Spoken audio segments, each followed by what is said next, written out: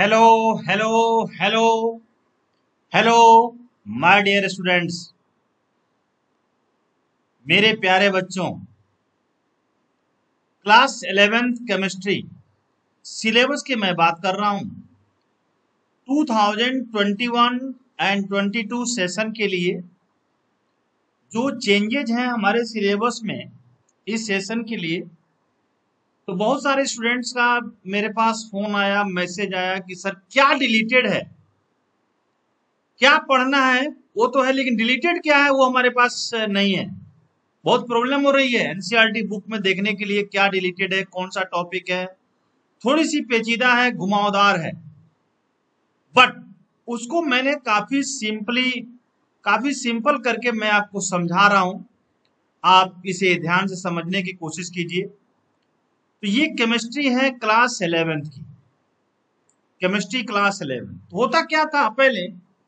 पहले का अभी भी वही है, उसको कैसे चेंज किया है?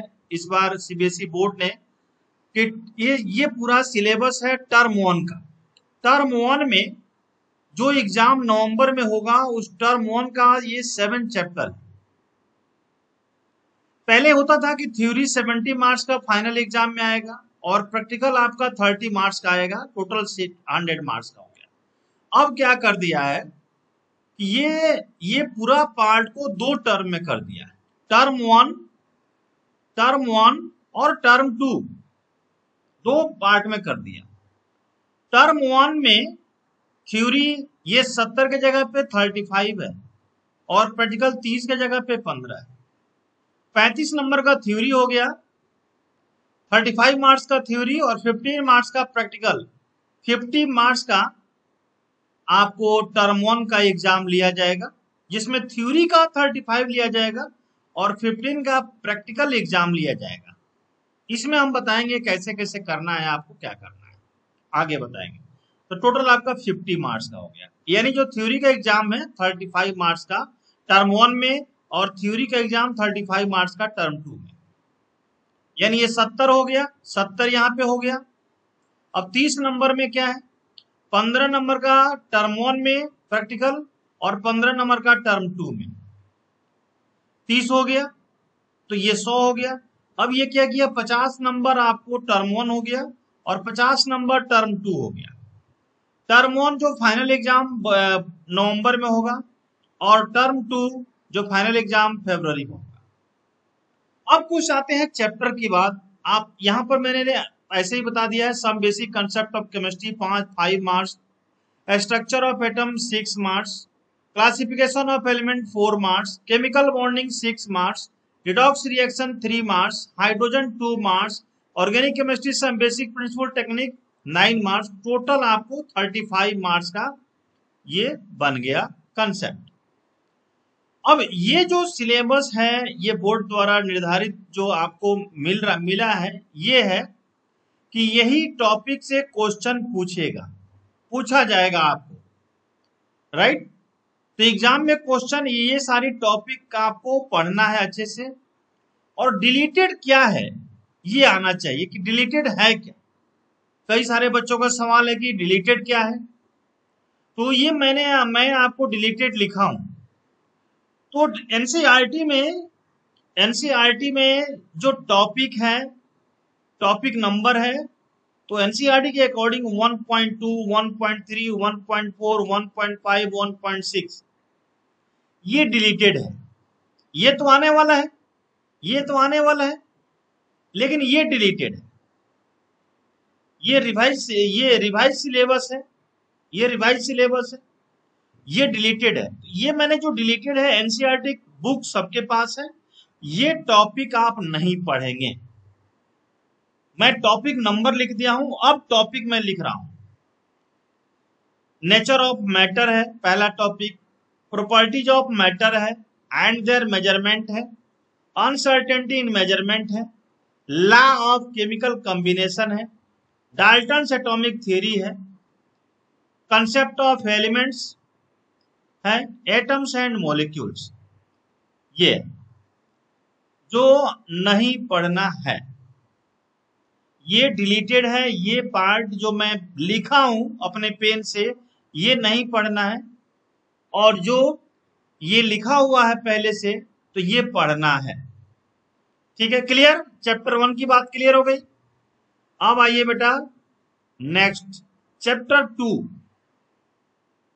तो इसके पहले प्रीवियस में ये चैप्टर वन है। अब नेक्स्ट में हम आते हैं। ये चैप्टर टू है, ये चैप्टर थ्री है, ये चैप्टर फोर है। अब इस टू में स्ट्रक्चर ऑफ़ एटम सबसे बड़ा चैप्टर है स्ट्रक्चर्स ऑफ़ एटम क्या पढ़ना है?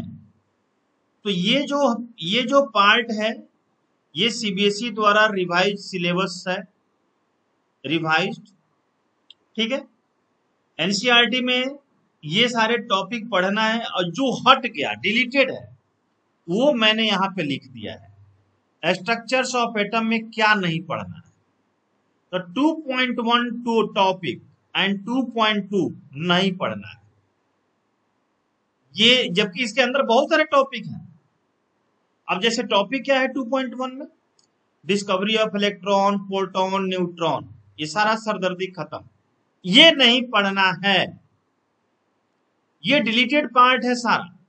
एटॉमिक नंबर का डेफिनेशन इसी में मास नंबर यहाँ पे मास नंबर में लिख दे रहा हूँ। मास नंबर नहीं पढ़ना है। Isotopes isobars J J Thomson model of atom and its limitation Rutherford's model and its limitation मेरे प्यारे बच्चों यहाँ क्लियर मैंने लिख दिया है स्पष्ट कर दिया कि आप लोगों को क्या नहीं पढ़ना है।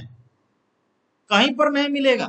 इसलिए मैं आपको ये वीडियो बनाकर ग्रुप में डाल रहा हूँ, ताकि आप लोगों को पता चले कि हमें पढ़ना क्या है और क्या नहीं पढ़ना है।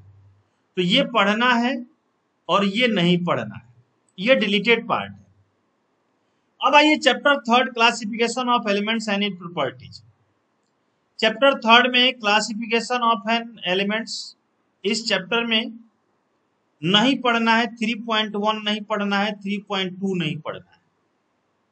इसका मतलब सिग्निफिकेंस ऑफ़ क्लासिफिकेशन नहीं पढ़ना है brief history of development of the periodic table नहीं पढ़ना है। यानी पीरियोडिक टेबल का जो क्लासिफिकेशन स्टार्टिंग का जो है, जैसे for example Dobereiner triad rules है Newlands law of octave rules है।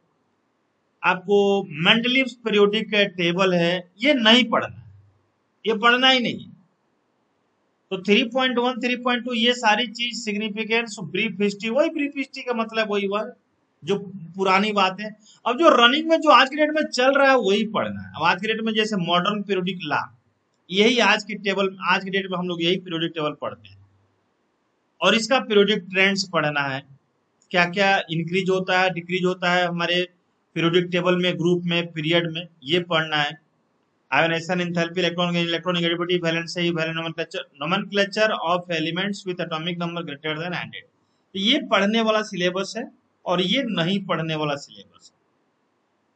अब आपको डोमिनर ट्राइड्स रूल नहीं पढ़ना है न्यूलैंड्स लॉ ऑफ़ ऑक्टेव्स नहीं पढ़ना है मेंडलिप्स नहीं पढ़ना है पढ़ना है मॉडर्न पीरियोडिक लॉ से। यहीं से पढ़ना और यही सब मैंने पढ़ाया भी है आपको। तो आपको चिंता करने की कोई बात नहीं है। लेकिन बहुत सारे स्टूडेंट का मैसेज आ रहा था कि sir deleted part deleted part इसलिए मैं ये मजबूरी में ये आपको मैं ये वीडियो बनाकर डाल रहा हूँ। आप इसको अच्छे से ध्यान से देखेंगे, सुनेंगे, समझेंगे, फिर भी कोई प्रॉब्लम हो तो आप मेरे से कॉन्टेक्ट करेंगे, बात करेंगे। केमिकल बॉन्डिंग चैप्टर फोर में आइए। Chemical bonding and molecular structure बेटा, इसमें सारे टॉपिक पढ़ना है। इसमें कोई टॉपिक डिलीटेड नहीं है। तो दिमाग से ये बातें निकाल दीजिए। मैं यहाँ लिखा हूँ नो एनी टॉपिक डिलीटेड कोई टॉपिक डिलीटेड नहीं है। यानी केमिकल बॉन्डिंग में आपको सारे टॉपिक पढ़ना है। All topic all topic all topic सारे टॉपिक पढ़ना है। जितने हमारे एनसीईआरटी में सारे टॉपिक हैं, पूरा पढ़ना है। तो ये केमिकल बॉन्डिंग हो गया। अब आइए next redox reaction redox reaction ये एनसीआरटी सेकंड बुक में एनसीआरटी सेकंड बुक में ये चैप्टर मिलेगा आपको।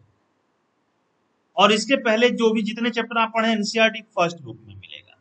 ये एनसीईआरटी सेकंड बुक में है। टर्म वन का ही सिलेबस ये दे दिया है। रिडॉक्स रिएक्शन राइट अब रिडॉक्स रिएक्शन में कोई टॉपिक डिलीटेड नहीं है। मैंने यहाँ लिख क्लियर लिख दिया है, आपको कोई डाउट नहीं होना चाहिए। No any topic deleted clear no any topic deleted इस तरह से हाइड्रोजन में आइए। हाइड्रोजन चैप्टर है। सेकंड बुक में है ठीक है? ये लगभग यूनिट नाइन है। ये यूनिट टेन है। ठीक है? और इलेवन हो गया एस ब्लॉक और ट्वेल्व हो गया पी ब्लॉक और ये थर्टीन हो गया आपका ऑर्गेनिक केमिस्ट्री तो ये नाइन यूनिट नाइन मतलब एनसीआरटी सेकंड बुक का दूसरा chapter that is nine chapter first book का सात चैप्टर है, और सात चैप्टर इसमें है. तो ये देखिए रिडॉक्स रिएक्शन में ये पढ़ना है और कोई रिलेटेड टॉपिक नहीं है. यानी रिडॉक्स रिएक्शन कंप्लीट है. इसमें कोई डिलीटेड पार्ट नहीं है। क्लियर हाइड्रोजन चैप्टर हाइड्रोजन में डिलीटेड है। हाइड्रोजन में डिलीटेड है टॉपिक 9.3, 9.4, 9.7 ये डिलीटेड पार्ट हाइड्रोजन में। यानी टॉपिक भी हम लिख दिए हैं इसीलिए कि दिक्कत ना हो preparation properties and usages of dihydrogen of hydrogen इसके बाद टॉपिक आपको नहीं पढ़ना है हाइड्रोजन पेरोक्साइड ये 9.7 है। हाइड्रोजन पेरोक्साइड इसमें preparation reaction and structure and use नहीं पढ़ना है। ये नहीं पढ़ना है। तो ये जो टॉपिक नहीं पढ़ना है हाइड्रोजन चैप्टर में। अब आइए चैप्टर नंबर थर्टीन यानी एनसीईआरटी सेकेंड बुक का, ये चैप्टर है organic chemistry some basic principle बड़ा मोस्ट इंपॉर्टेंट चैप्टर है। ये क्लास ट्वेल्व के लिए आपका ये रूट है। तो थर्टीन चैप्टर में आइए। ये पढ़ना है, जो यहाँ लिखा हुआ है, पढ़ना है। जो नहीं लिखा हुआ है, मैं नीचे पेन से लिखा हूँ। डिलीटेड पार्ट है। अब टॉपिक एनसीईआरटी के अकॉर्डिंग 12.8 नहीं पढ़ना है 9 नहीं पढ़ना है 10 नहीं पढ़ना है। राइट ये नहीं पढ़ना है। इसका मतलब क्या है कि मेथड ऑफ़ आपका प्यूरिफिकेशन ठीक है? ये 12.8 हो गया। क्वालिटेटिव क्वालिटेटिव एनालिसिस 12.9 हो गया। और क्वांटिटेटिव एनालिसिस ये 12.10 हो गया। ये नहीं पढ़ना है। तो ये डिलीटेड पार्ट है आपका एनसीईआरटी का। और ये पार्ट सभी पढ़ना है। रिवाइज सिलेबस है। ये पढ़ना है। ये नहीं पढ़ना है। जो पेन से लिखा गया है, नहीं पढ़ना है। इसके बाद आइए लास्ट प्रैक्टिकल प्रैक्टिकल आपका पंद्रह नंबर का है। फिफ्टीन मार्क्स की प्रैक्टिकल है। तो मैं ऐसे आपको वॉल्यूमेट्रिक एनालिसिस ये मेरे द्वारा आपके पास ये रिटर्न सॉफ्ट कॉपी भी हम देंगे हार्ड कॉपी भी देंगे, यदि स्कूल में ऑफलाइन है तो। तो ये वॉल्यूमेट्रिक एनालिसिस एक्सपेरिमेंट भी कराएँगे लैब मैनुअल ये लैब मैनुअल में लिखना है आपको प्रैक्टिकल लैब मैनुअल में लिखवाया जाएगा और एक्सपेरिमेंट करवाया जाएगा volumetric analysis content based experiment और क्लास रिकॉर्ड एंड वाइवा पाँच नंबर। ये टोटल आपका आठ, दो, दस और दस, पाँच, पंद्रह। पंद्रह नंबर का प्रैक्टिकल होगा।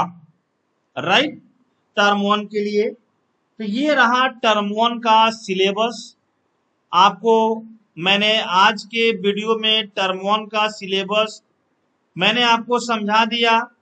ये थ्योरी कंप्लीट रूप से 35 मार्क्स का चैप्टर सारा डिस्कस कर लिए और प्रैक्टिकल पंद्रह नंबर का आपको बता दिया, यानी टोटल पचास नंबर का एग्ज़ाम है। तो थ्योरी वाला पेपर थर्टी फाइव मार्क्स का आपको दिया जाएगा और प्रैक्टिकल का एग्ज़ाम जो होगा वो फिफ्टीन मार्क्स का एग्ज़ाम होगा। ठीक है? तो आज की क्लास और आज का syllabus class eleventh eleventh chemistry का सिलेबस 2021-22 बैच के लिए मैं आपको इस वीडियो में समझाया हूँ। इस तरह से टर्म टू का अगले वीडियो में मैं आपको समझाऊँगा और वहाँ पर आप कंसंट्रेट होकर के देखेंगे। कुछ ही दिन में जल्दी ही हम सेकंड वीडियो भी डालेंगे सिलेबस का, जिससे आपको कोई डाउट नहीं हो। ठीक है बेटा? ठीक है? तो चलिए, अगले वीडियो का इंतज़ार करेंगे। टर्म टू के लिए धन्यवाद। और लास्ट में मैं एक चीज़ कहना चाहूँगा कि सब्सक्राइब करना और लाइक करना नहीं भूलेंगे। धन्यवाद।